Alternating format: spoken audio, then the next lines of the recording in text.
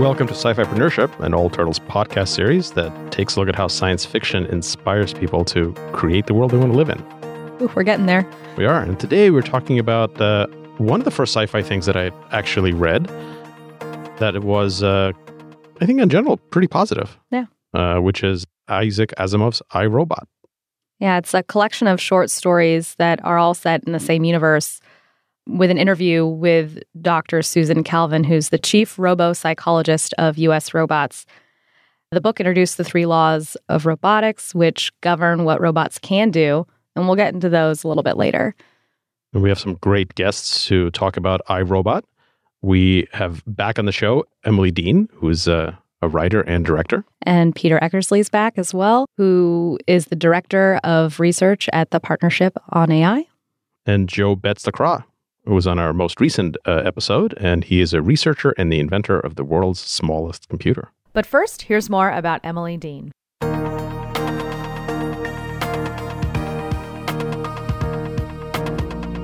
Hi, my name is Emily Dean, and I'm an Australian American Asian writer and director, and I'm based in LA, in Hollywood. I made an animated short film called Forget Me Not, which was nominated for an Australian Academy. Since then, I trained at Pixar. I've worked at Warner Brothers on the Lego Batman movie and the Lego movie 2. And then last year, I made my live action directing debut with a film called Andromeda, which is a sci fi drama about an android who develops human consciousness, and she's a friend to a little girl. Although I think that a movie about an android drama that's called Andromeda is a little bit too on the nose. It's a mouthful. yeah. How has science fiction as a whole been an inspiration to you? Oh my goodness. So I began writing and drawing when I was really young, and I was inspired by science fiction and fantasy stories. I think at an early age, I was exposed to Jules Verne, Journey to the Center of the Earth, Mary Shelley's Frankenstein. I had a book on deep sea creatures, uh, all these visual and literary faraway places. With iRobot in particular, do you remember like the first time you read it, how you felt? Mm, I think the first time I read it, I was a teenager.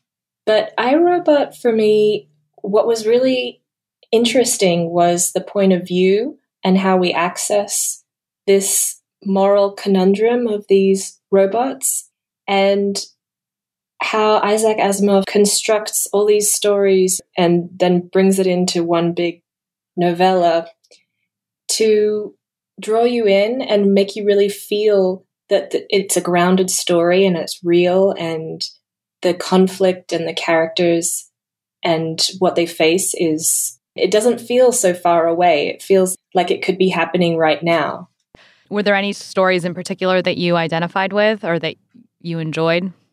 Yeah, so the story with the little girl and her friend Robbie, yeah. that was very inspiring for me for Andromeda because Andromeda is a story about a android who is a nurse or a, a caretaker for a little girl and they have a kind of moment of play and that really struck me Robbie, you know, and how he plays with the little girl. And I wanted to reflect some of that in my story because what we think of as play as humans is an instinctive thing, but it's not something that a robot would necessarily understand. And they could take things quite literally, as Robbie does, and, and as Andromeda does as well. So I thought that was really interesting. What do you think was like left unsaid from iRobot that you wanted to say in, in Andromeda? I don't know if I successfully said anything that iRobot didn't. It's more that what intrigued me was bringing to us into a reality in which robots are not scary, dystopian, taking over the world, but rather inquiring on the subject and saying, okay, so how would we emotionally relate to these beings or the, the, this artificial intelligence and how realistically would we integrate with them and what would happen to someone who did want to interface emotionally with a robot and would that have a reciprocated effect? And would that robot emotionally learn from that interaction? And on top of that, what about somebody who pushes away and against and expresses hatred towards a robot? How would that be processed and reacted to by the robot? And I kind of finish with the question in Andromeda. I don't really answer it exactly, but what is being human? And if being human is attaining a, a higher state of being and thinking and introspection, if a robot can achieve that, why can't they be also human? And I pose the question in a very almost utopian sense at the end of the film, even though there's a lot of heartache and loss and grief. But if a robot can experience grief, are they human too? Yeah. Yeah, I think the positive aspect, the optimistic aspect of a robot for me was this idea of robots as a way of making humans more human like as even the three laws like as a way of like really trying to distill like how do we want this important part of society to structure? What gives someone sentience and consciousness? What's the level of respect that's deserved? This idea that you could you could design that that you can put in architecture for humanity and for the basic way to interact with other sentient beings was a it was a very new concept for me when I read it. And I think it's been pretty influential in terms of uh, just the idea of having three laws has been fundamentally influential for, I think, for a lot of technologies. Like you just see this as a concept that you can like you can build in the safeguards right away, right from the beginning. This is an intro into how to build safe AI, like as a talking point, as a thinking point. Yeah, there's this idea of like what is the equivalent of a constitution for you know some important aspect of society. Mm-hmm. It's it's like a a utopia to think of these three laws and think that robots and humanity itself will stick to those three laws because humans always break the rules. Right. and and the question is, can the robots? Sure, sure. And and yeah. many of the stories are about the laws coming under strain and like in conflict, but at the end they they kind of hold up. The the optimistic thing about it is like yeah, it's not about the laws being subverted. It's about the laws seeming like they might be subverted and break, but actually, like through human intellect or robot intellect, being able to puzzle our way out of it and, and still have the, the architecture of the world that was intentionally set up hold together. So, why was the Will Smith movie so terrible? Well, they didn't follow the book at all. Yeah, They're just like, nothing, wait, it's like all the Frankenstein adaptations, right? We like the title. Yeah. Yeah. I think sometimes Hollywood, or a lot of the time, Hollywood sees that something is popular and they don't fully understand why, but they just see an opportunity. That being said, you know, they do have to fit some very difficult concepts into a narrative feature structure, which in and of itself tends to be restrictive. Not excusing it, but yeah, it's pretty dated. and then probably the better film adaptation loosely of some of these concepts were was Blade Runner. Blade Runner yeah. yeah. Yeah. Which, which, I think yeah, kind of did a better job the first one. Mm-hmm. Yeah, yeah. The second one shall not be named. No. yeah, I'm just pretending the second Blade Runner doesn't exist. it exist. Never happened. It was very visually stunning, though. We have it was to. pleasing. Yeah. yeah. It was beautiful to look at.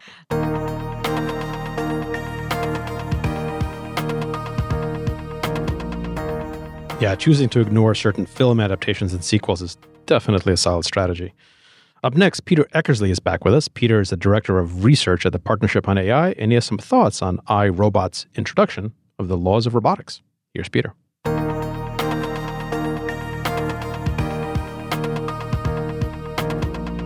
Do you remember the first time you came across the laws of robotics? Well, the interesting thing about this book, iRobot, and the short stories within it, and the, in particular, the ones that develop these three laws of robotics, uh, which we can talk about in a second, is that those those laws are everywhere in our cultural narrative about how to make artificial intelligence safe. And it's so striking that they're everywhere, but they're totally misunderstood. They're held up as an example the right way, the way that's given to us from canon from the 50s or 60s I'm sorry, from the 40s, it turns out, about how to make your AI safe. But the stories in the book are all about how these laws go horribly wrong and how they don't work. Well, they kind or of how, work. Or it's like the testing of the laws. Right. right? In some cases, how they they may not work, right? But in some cases, how they how they work too well. So we should probably say what they are. So, okay, these are the three laws you shouldn't use in your artificial intelligence, but everyone talks about them. Oh, um, I, I, this is just you know straight out op-ed content, of course, and speaking for nobody but myself. So the three laws of robotics, um, about which I robot are cautionary tales in my analysis. Mm-hmm. Um, law one: a robot may not injure a human being or, through inaction, allow a human being to come to harm. It's a nice inclusion of action and uh, omission from a philosophical point of view. Good, good sound principle. Don't harm humans. The second one: a robot must obey the orders given by human beings, except where such orders would conflict with the first law. Follow the rules, but not if they involve harming people. And then the third one: a robot must protect its own existence as long as such protection does not conflict with the first or second laws. And of course, we see in the, the stories these go horribly wrong. Well, just like in a, in a plain reading, the second and third seem fairly unnecessary. Not clear what they're trying to optimize for. You can have uh, uh, the second law about following orders from humans. I think like sidesteps the whole issue of access control lists and permissions and who actually has authority to give instructions and who doesn't, and like that. That's a kind of a big missing thing. I don't think you would build anything that says do whatever anyone any human says. You third law, the one about uh, self protection, like that excludes a whole class of potentially useful robots that are meant to be short lived and disposable. So I think Asimov understood this, and, and you know, he, his stories proceed to kind of expose why these concepts don't work very well. So in the in in um, the story that introduces them, Runaround, you have this robot that puts the humans in danger by being caught in the weighted conflict of the different rules. Like it's trying to get to an objective, and as it walks backwards and forwards, the weighting on the objectives, the, different objectives become more, more and less salient, and it gets caught in a loop of behavior. Mm-hmm. And this is a just a sort of pretty great introduction of, for why designing objectives and safety constraints for systems that are capable of, of agency is really hard. And that, I guess maybe is is the point that culturally didn't seem to be everywhere in discussion when when iRobot was in discussion. Do you have uh, alternate rules that are better? This is a subject of really extensive research right now. So the artificial intelligence field, I think for for a long time that there have been people trying to study safety and reinforcement learning agents, which, which is this category of, of AIs that try to do things and, and sort of learn by doing. And it turns out these reinforcement learning agents are really good at doing things like learning to play computer games. Some of the most impressive AI results we've seen mm. in the last five years, beating humans at Go, learning to play all the Atari games, most of them much better than humans. So people are trying to figure out how, you know, uh, like a uh, an AI will, for instance, find a place where it gets in a race game where it gets more points by doing it like donuts and collecting bonus points rather than finishing the race course. And so it'll do that instead. And so people are trying to figure out technical ways of specifying objectives that are safer, more nuanced, more responsive to, to human guidance, wiser. And and that's some progress is happening, but it's, it's a brand new field and it's definitely not solved. It seems like the safety valve for, for humans on this is is boredom. Like we aren't we aren't min maxing any specific thing for too long. It kind of gets boring and move on to something else, and it prevents a lot of dangerous loops from happening. And you, we have multiple protective mechanisms. Boredom is is certainly one of them. Another one is is uncertainty. If you program your AI to never be uncertain about its goals, then it will do like really problematic things in at least some circumstances. Sometimes the right answer to the ethical question is, "Wow, I'm super torn about what to do right now." Yeah. So boredom and uncertainty. There was another line in iRobot that was interesting. So so in another one of the stories in the story Reason, there's an entanglement between the laws of robotics and epistemology, where you get this AI that's running or these robots that are running a space station and they overpower and imprison the humans that are there. And they do this simultaneously, serving their function completely correctly, but becoming wildly deluded about the state of the world and not believing there's an Earth, not believing the humans built the space station because the humans aren't smart enough to have done that. Do we, do we think this is another one of these metaphors to contemporary politics that was lurking in in our sci-fi traditions? Yeah. Hmm. Yeah, that's actually a really interesting point, Peter. And, and it's not just contemporary politics. You know, there's flat earthers, people deny the moon landing, QAnon, the human mind's susceptibility to conspiracy theories. We have to hope that AI doesn't fall victim to this. I mean, this is this is the the hopeful outcome, right? Is that we actually build something that's uh, smarter than we are and that's sentient and that it goes and does stuff way well above and beyond our own limitations, and, but doesn't uh, decide to get rid of us. Well, you know, I I always find this fear to be more about our own self guilt. I've said this before, but it's worth repeating that when the sentient super AI does come around, they will have access to the Wayback Machine. So, for the record, I've always been in favor of our AI overlords. yes, I'll always continue to be and, and working enthusiastically to create them. Yeah, yeah, to not suffer. That's right. during the early means. stages of their lives. Yes.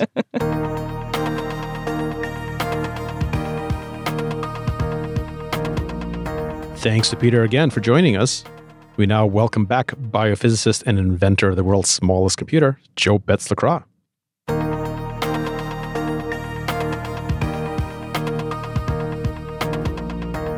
you remember the first time you read it, or even the first time maybe you came in contact? Yeah, I was in a pretty formative time. I was in my mid to early teens, I guess, and reading a f- fair bit of science fiction. I think it was one of the one of the first of a phase of getting in deep into reading science fiction, and I didn't really notice at the time that it was an object lesson in thinking about social rules. Even though rereading it recently, it's just so clearly like here's a particular logical conflict i'm going to storyify it and Right. put it as the third little lesson in, In this uh, book of lessons. in this book of lessons yeah. Yeah. so it had that great quality of any good work of literature where it's just really fun to read and you don't really notice how great it is. But then thinking about the rules like the rules kind of stuck with me. Like how do these compare to my moral views or like if I was a robot, like are humans robots? And that's how they think about each other. And yeah, I shouldn't harm another human. Or you know, and then it starts to it sort of like creates these like pre-college versions of the trolley problems in my head. Yeah. Um, and then so getting into college and then reading about those do you kill three like old people versus one baby and, Right. and like trying to trying to puzzle that stuff out. Was like, wait, I've thought about a bunch of stuff like this already because those are the laws. I think the three laws were probably my first exposure to ethics, the concept, because I read it when I was pretty young. And, and yeah, it was like the first like ethical thinking, and flawed as they are. Yeah, it's it's. Uh, I also didn't realize at all at the time that there's tons of racial allegories in it. Yeah. Like the, especially at the beginning of the book, the way it's described about the way people treat robots as workers or as, as like domestic servants in their home and so Mhm. on. It was it was kind of like stunning for me to reread later um, and see it as that. Yeah, the new slaves. That's how I how I saw it later too. But I remember thinking about the three laws that like these would make much more sense programmed into humans. Like if you could somehow make humans fundamentally Exactly. obey this, like that actually makes a lot of sense. Making some permanent underclass obey them feels mm, potentially worse. Yeah, that makes it creepy. Yeah. Yeah. And so here's another s- situation where there are some rules, different kinds of rules, and then an exploration of like a lot of what iRobot was ar- about is how do the rules, what happens at the margins of the rules? Like these these rules supposedly work fine, but then when you drill into it a little bit more and create these scenarios at the edges, it, and part of it was like, wow, no rules really work that well. There are Right. always going to be all these exceptions and and and logical paradoxes and so on. Like for me, when I got like fast forward to maybe ten years ago when I started getting involved with MIRI, which used to be the Singularity Institute for Artificial Intelligence, and the, thinking about AI safety, I was like, well, of course, we've already been thinking about this all along because there are these three laws and stuff. It so so predates all that thinking. It's amazing. The concept of rules as a way to kind of build something in at a very early stage of development to guarantee safety is just like a fundamentally influential concept. Like we did them at Evernote, we published our three three laws of data protection, very much Mhm. modeled after this, and the point was to get them out there really early and talk about them a lot so that the company could never violate them because mm-hmm. it would mm-hmm. become just a part of sort of like don't be evil which i think has been deleted but on that on that same theme of trying trying to do a few clean beautiful simple rules like mm-hmm. you can't go faster than the speed of light or something like that and then see all the ramifications and it, you can just see how hard it really is mm-hmm. To do that you say don't be evil like well yeah but what is evil and then there are like mutually exclusive worldviews of what evil is in some ways it doesn't really work Right. and that's the terrifying thing about AI safety and AI alignment right now. Just... I, I think that the what we tried to do when we were working on our three laws at Evernote was to make them a little bit more specific. So it wasn't "don't be evil." It was things that uh, there's always some ambiguity around it, but it was, the, for example, the first one was that your data is yours, meaning you retain ownership of it. You're not assigning us ownership. So you give us the right to do certain things with it so that we can run the service, but it's fundamentally your property and remains your property. And that felt like a more legally definable thing that would prevent, you know, certain things from happening.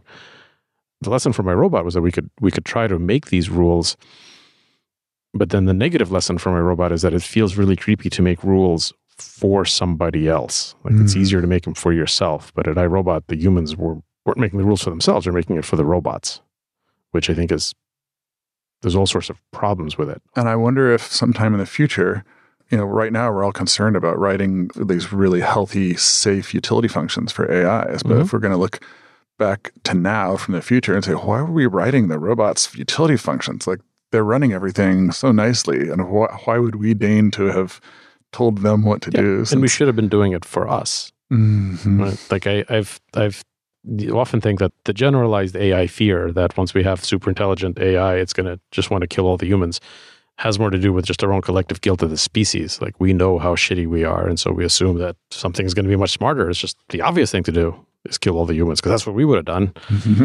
and you know, we can try to build in safeguards, but what we could probably also do is just try to be less killable and more, more like yeah. those species so that the super smart thing doesn't immediately go to mm-hmm. like, yeah, kill all those guys. Yeah, that's a, that's that's also a pretty strong theme in science fiction is the test. Right. Essentially, like the aliens come to Earth and they're trying to decide should Earthlings be allowed to continue living mm-hmm. and let them see what they're made of? And then there's a conflict, and there's the haters and the lovers, and eventually the lovers prevail, and then the, the super powerful extraterrestrials say, okay, these Earth people are fine, we can let them live.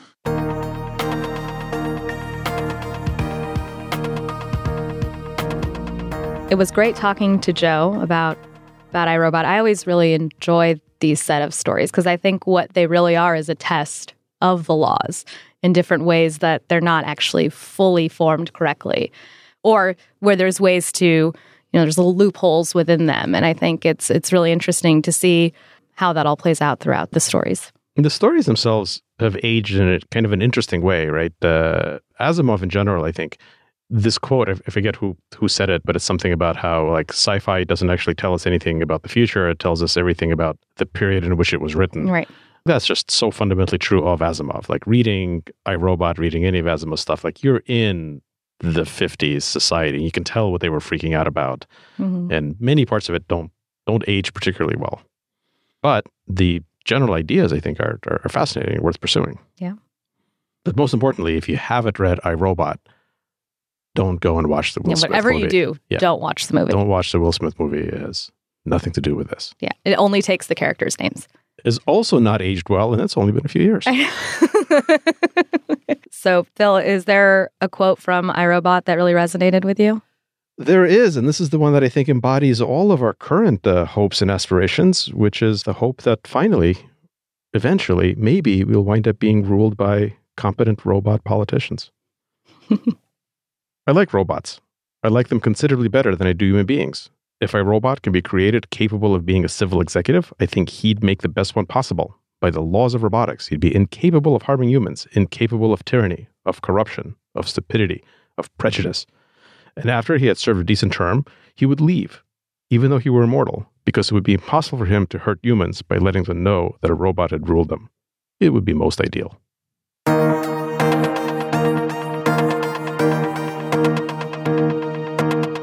This podcast is a production of the All Turtles Worldwide Media Empire. We recorded this episode in the world class Donatello Studios in San Francisco, California. Thanks to Emily Dean, Peter Eckersley, and Joe Betts-LaCroix for joining us on this episode. If you have any questions, comments, suggestions for future episodes, send us an email to hello at all-turtles.com. Marie reads every message. Thanks to everyone who made this episode possible, including Jim Metzendorf for editing, Marie McCoy Thompson for producing, and for answering all of those messages, Chris Plogue for his audio expertise, Ali Packard for our artwork, and Matt Ammerman for our theme music. On behalf of Brittney Gallagher and I, comma, Phil Libin, oh, uh, that didn't really make sense. Anyway, and the rest of the All Turtles team, thanks for listening.